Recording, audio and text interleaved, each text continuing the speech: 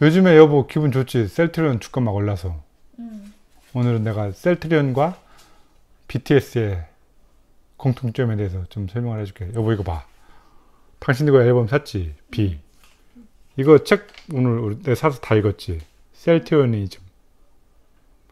셀트리오니즘. 이 셀트리오니즘은 전혜진 기자라는 기자가 썼어 책을. 봐봐 여보. BTS가 옛날에 처음에 엄청 뜨기 시작했는데 우리나라에서 방송에서 BTS 주목해줘서 안 해줬었어? 그때 왜 안 해줬어?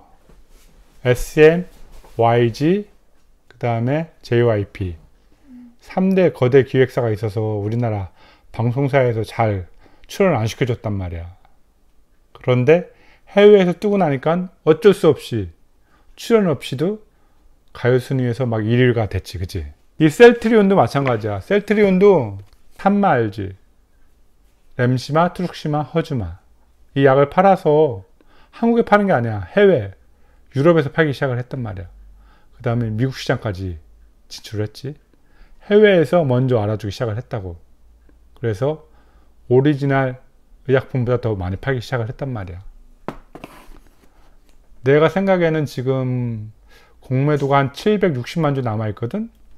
그런데 공매도가 지금 지난주 금요일 날 50만 주 외국계에서 매수를 했는데 그게 공매도인지 아닌지는 공매도 상환 수량인지 아닌지는 뭐 월요일이나 화요일쯤 알게 되거든.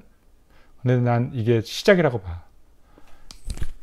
이 BTS가 지금 Life Goes On이라는 노래로 한국 노래로 빌보드 핫 100에 처음으로 1위를 했단 말이야.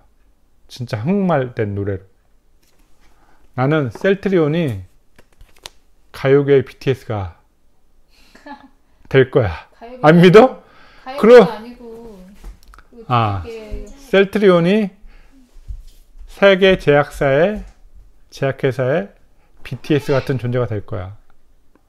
셀트리온 이 책을 읽어보면은 그동안 그 오래된 주주들은 다는 내용인데 이렇게 책으로 출간을 돼서 읽게 되니까 너무 감기가 무량한 거야. 그래서 나는 이 전예진이라는 이 기- 이제 이렇게 세상에 알아주고는 시대의 셀트리온 주주로서 행복하게 기쁨을 만끽하면 돼. 알겠지? 좀 다음 주부터 열심히 또 셀트리온 응원하고 BTS 응원하고 크리스마스 때 아주 좋은 소식이 들려올 거야.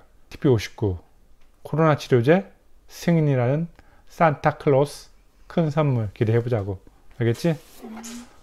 주주 여러분 행복한 일요일 주말 되세요. 안녕.